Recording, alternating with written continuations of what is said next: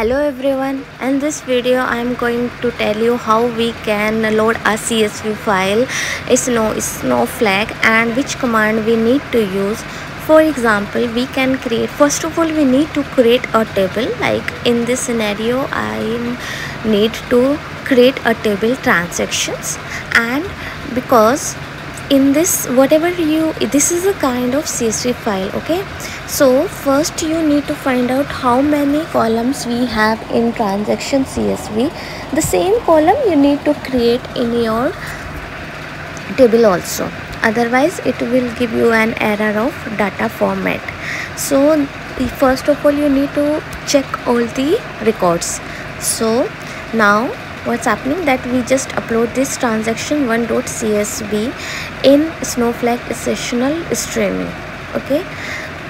Uh, you need to keep in mind that we are working in an amazon s3 and inside that we just create a snowflake sessional streaming and then we are creating a database and you uh, using that database after that we are creating this create or replace uh, stage. So before creating any external stage we need to run this command and we need to give this path. After that if uh, to list the files in the uh, bucket we just need to use list command. After that you need to create a table with the same column name that we have in csv file okay? This is very essential otherwise it will give you an error.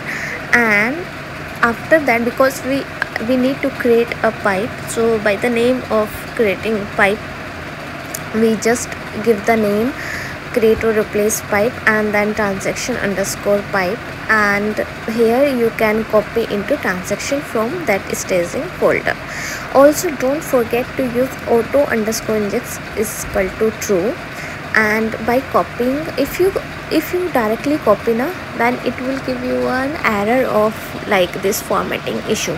So to remove and to troubleshoot this kind of error we just you know copy into transactions and uh, we uh, uh, can use the file delimiter. So here there is the file format and then you need to give the name.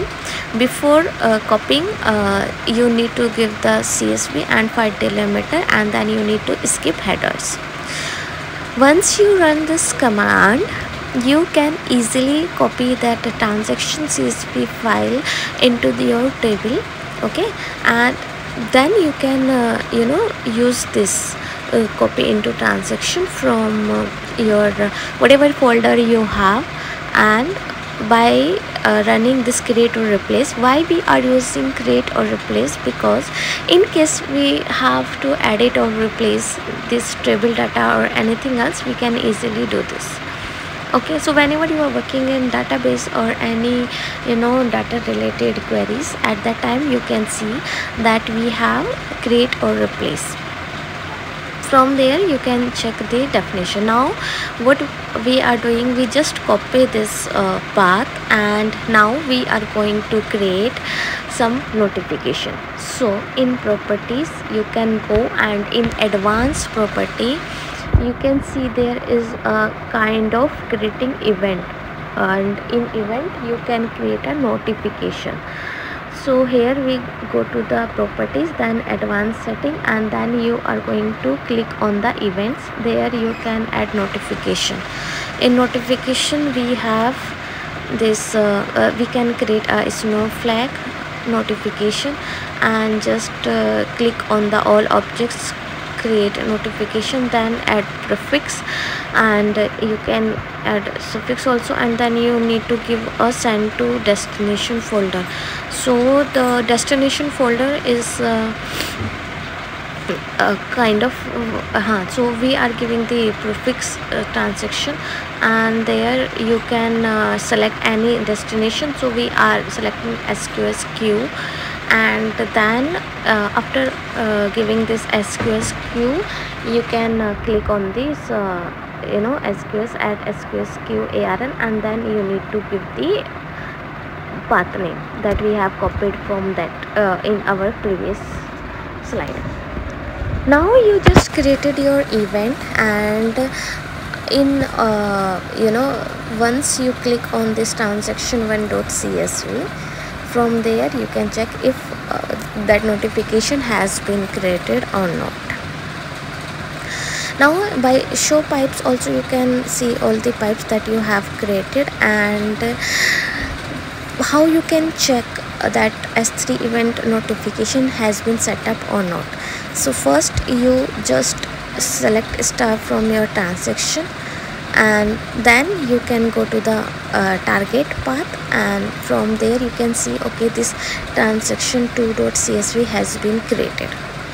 So once you have checked this after that you can uh, do one thing. You just need to set the permission. Okay so here uh, we have set the permissions. And then you can see that there is another transactions to dot .csv has been created. Now you can select count star from transaction. Count star is using just to check the count. So we have already created the uh, count. So from there you can check all the count whether why we are using count star? Because we need to check if count is similar to transaction uh, .csv table or not. If if there is any mismatch means you your processing is not done correctly. So uh, this should be match okay? So this is our check. So by doing this you can create this snow pipe